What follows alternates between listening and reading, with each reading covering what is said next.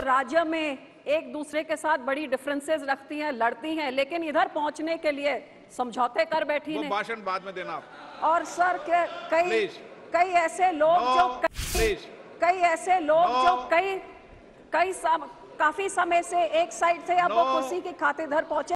पहले मौका नहीं दिया गया आपको?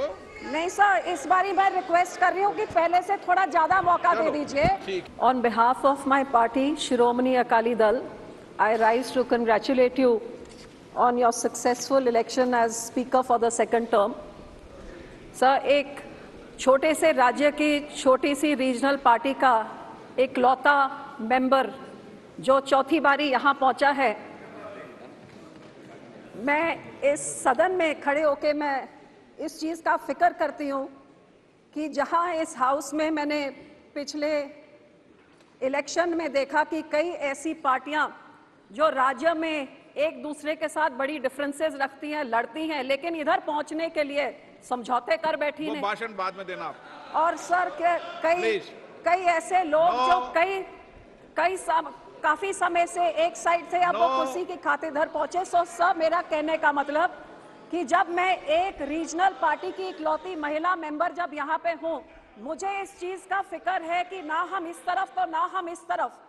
लेकिन हम अपने पंजाब और पंजाबियों के लोगों की आवाज़ उठाने के लिए जब मैं यहाँ पे खड़ी होंगी मैं आपसे यही उम्मीद करती हूँ सर कि आप हमारे छोटी पार्टियों की तरफ़ छोटे कम्युनिटीज की तरफ़ माइनॉरिटी की तरफ़ भी आप वही अ, निगाह के साथ जैसे आप बड़ी पार्टियों को देंगे हमारे आरक्षण भी आप करेंगे हमें भी आप मौका देंगे और जितना पहले करते थे उससे थोड़ा ज़्यादा करके प्रिंसिपल्स ऑफ़ डेमोक्रेसी को आप ज़िंदा रखेंगे कि छोटी पार्टी चाहे होए अकेला मेंबर चाहे होए लेकिन लड़ाई उतनी ही तगड़ी होती है जितनी बड़ी पार्टियाँ लड़के शायद उससे ज़्यादा होती है। पहले मौका नहीं तो दिया लड़के जब आपको इधर पहले मौका नहीं दिया आपको?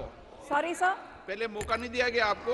नहीं सर इस बारी मैं रिक्वेस्ट कर रही हूँ कि पहले से थोड़ा ज़्यादा मौका दे दीजिए ठीक है। क्योंकि एक महिला होने के नाते चौथी बारी पहुँची हो आप हमारा ध्यान रखेंगे तो मैं आपको शुभकामनाएँ देती हूँ।